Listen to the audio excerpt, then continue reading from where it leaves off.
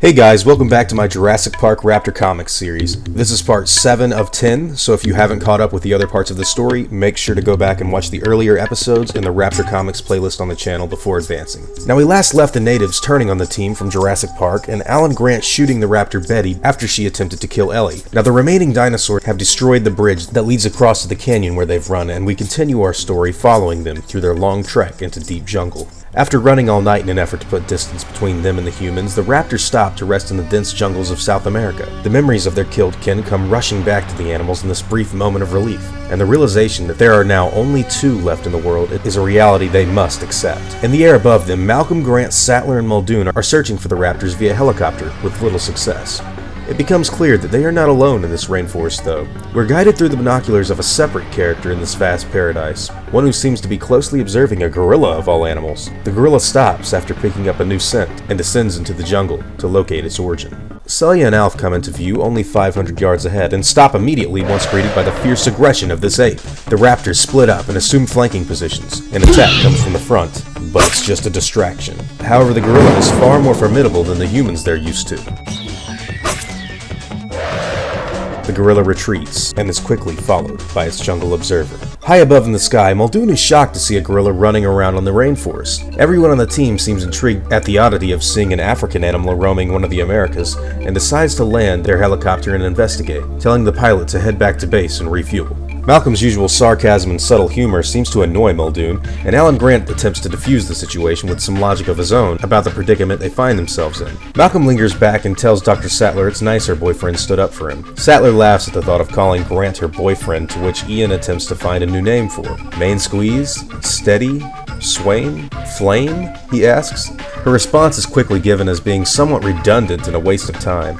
Alan begins to notice these advances and asks Ian if he's interested in talking some sense into Muldoon. Of course, the chaotician takes advantage of the situation immediately. Grant then shares his uncomfortableness with her hanging around Dr. Malcolm and asks if he's done anything she would object to. This causes a dispute between the pair when Alan brings up the raptor he killed to save her life and if it bothered her. She, of course, lets him know this isn't the case and makes it abundantly clear that he is indeed her flame. Finally, Muldoon comes upon the area they saw the gorilla. While observing this land, Ellie is grabbed by the beast and lifted into the trees. Muldoon opens fire, much to Grant's displeasure, but Robert assures the doctor he's only firing off a shot to scare the beast and isn't going to hit Dr. Sattler. Grant calls out for Ellie desperately in the middle of the forest until the trail is lost, and the doctor is nowhere to be found. Elsewhere, the raptors have begun their ambushing of a small jungle animal, and while they eat their kill, they are observed by the same gorilla watcher from earlier. This viewer has some apparent background in animal communication, and deduces the raptors to be signaling signs for happiness, trust, and peace. It's revealed that these two seem to be starting a courting ritual,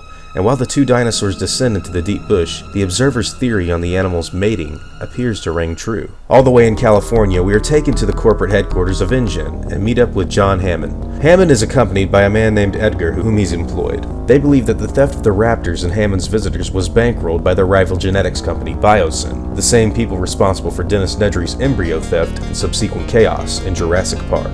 Hammond has let their attacks go previously unchallenged because his project was supposed to be kept secret, but now he feels these repeated assaults demand an answer, and he wants Biosyn to feel the same type of pain he is feeling, and says there is hunting to be done. Back in the forest, the two raptors are forced awake by the loud presence and challenge of the same gorilla. After putting Ellie down, the animal assaults the raptors and comes close to killing them for being in his territory. The raptors begin to viciously tear into the beast, however, and begin a new strategy. The raptors inch closer to the ape, and flank him from the front now instead of the side. This unusual behavioral shift surprises the gorilla, and as soon as it takes one step back, it learns the hard way that the dinosaurs have positioned him to descend down the side of a steep cliff. After the gorilla is taken care of, they quickly run back to search for Ellie, but are left fruitless in their pursuit as she's already ascended a higher tree in the midst of their battle. Fearing any more trouble, the raptors depart this dangerous place and journey even deeper into the jungle. Grant and the rest of the team make their way to the site of this battle and are quickly relieved to find Dr. Sattler unharmed. She and Alan have a reunion that he deeply appreciates. The raptors continue their trek in the jungle until they are greeted by the large whirling blades of a helicopter. The observer jumps out of her transport and begins to motion hand signals to the dinosaurs. Somehow, these raptors understand these gestures made by the woman peace and trust. And for the first time, the animals actually don't attack the new human they've just met. These issues keep getting weirder and weirder.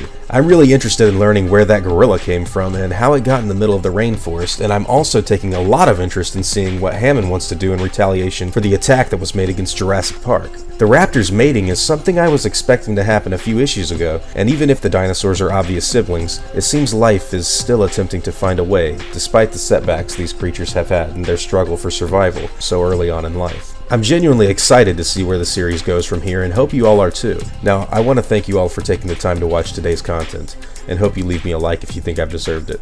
If you're new, I hope you also consider subscribing so that you can keep up to date with my latest material. I'll see you all in the next video, and as always guys, take it easy.